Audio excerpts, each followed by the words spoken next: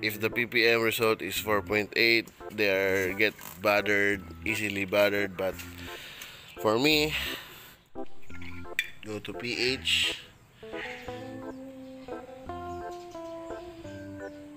oh it's not working. Good morning good morning good morning everybody. Welcome back to my channel. Well a lot of you guys are asking me questions.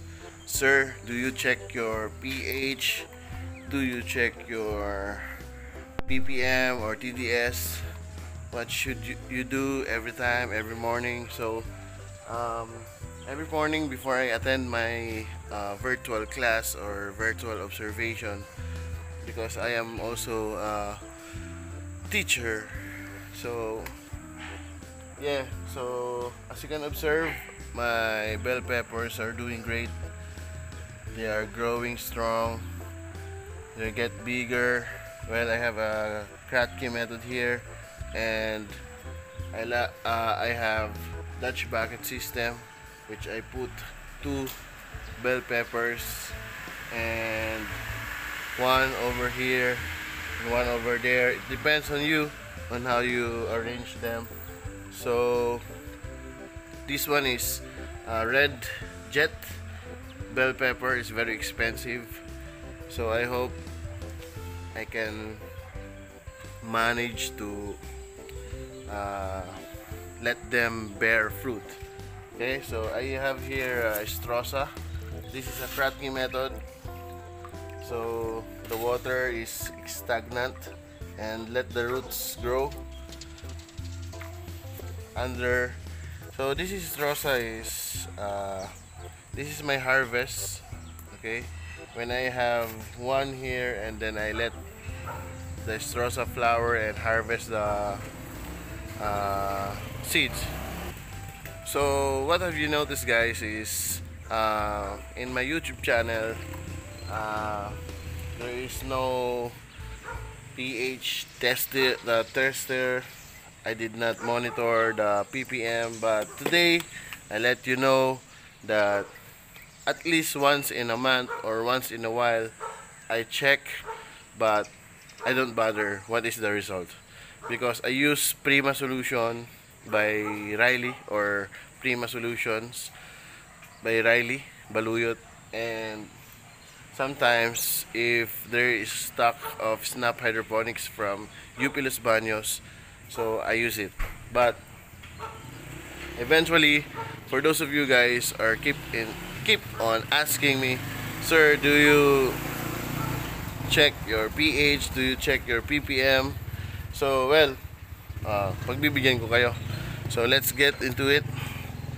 So first off we need to check the ppm on this Kratky method. Okay let's go here.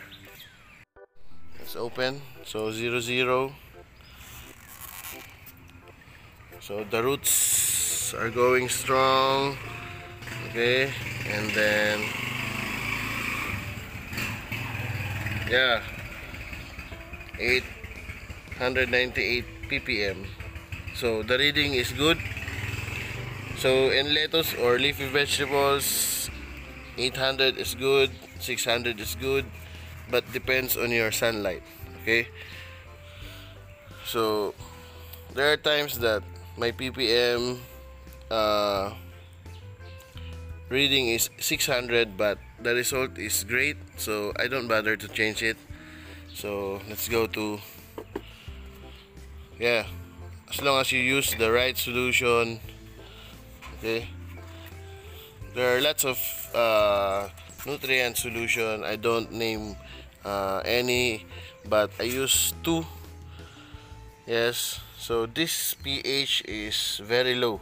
So 4.7 4.8 so what should I do to make this plant better or grow better? So I did not I did not I did not do nothing okay? So I let it, I let them grow as it is. So um, a lot of guys they out there uh, who just uh, if the ppm result is 4.8 they are get bothered easily bothered but for me yeah as long as you use uh, prima or snap solution easy way easy mix. So well of course uh, I need to check this later afternoon and maybe next time if there is a reaction on this one okay the growth went wrong so I need to do uh, a little bit uh, reinforcement okay? But for now okay so the Kratky result is went well. The growth is good okay as you can see it's very complete. Okay so let's go to this uh, fruit fruit box styro cup. Let's read the pph a uh, ppm sorry. Okay.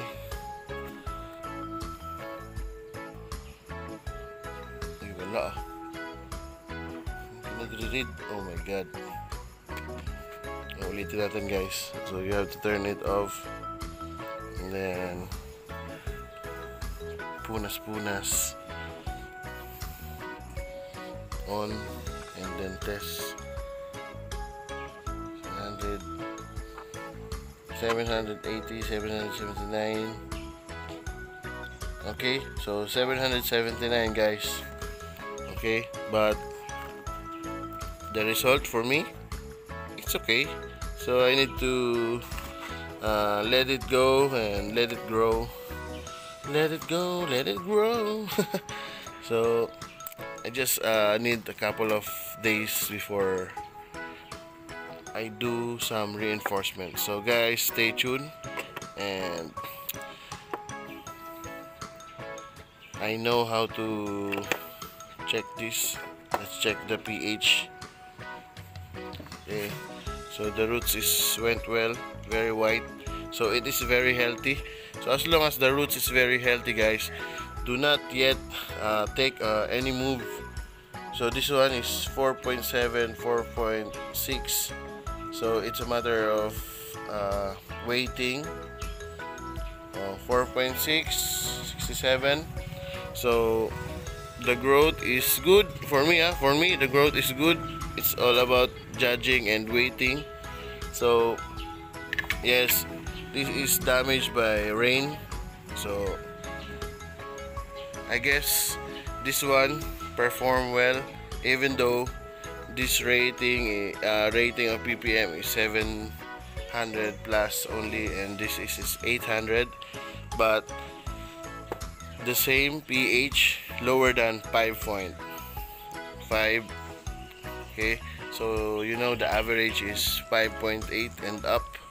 But in this system okay the ppm or the pH the pH reading is 4.8 or 4.7 so I did not bother it to change or to do reinforcement because again the growth is better or went well. There is no trouble here. So yes um, just relax and enjoy. Let them grow. Okay again.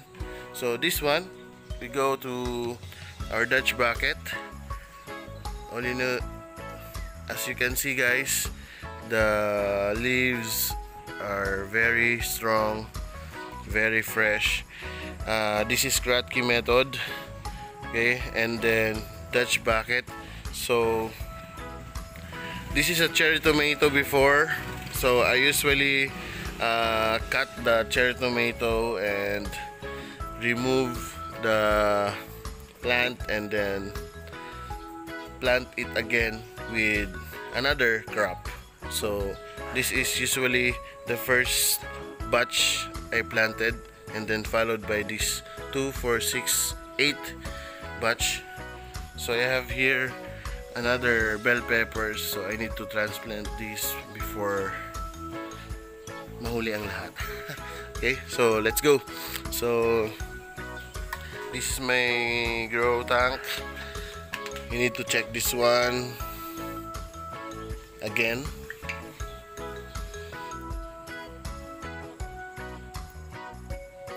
So 1780 ah so 1700 1708 okay. So very high. Go to pH oh it's not working. We need to punas punas this one. Okay hold and then. So again guys 4.6 again guys. Thank you for watching. Stay tuned. Don't forget to like share and subscribe. As long as your plant grows well don't bother enough to uh, or don't panic. Just let it let them grow. Let them uh, feel the sunlight and wait for the harvest time. Okay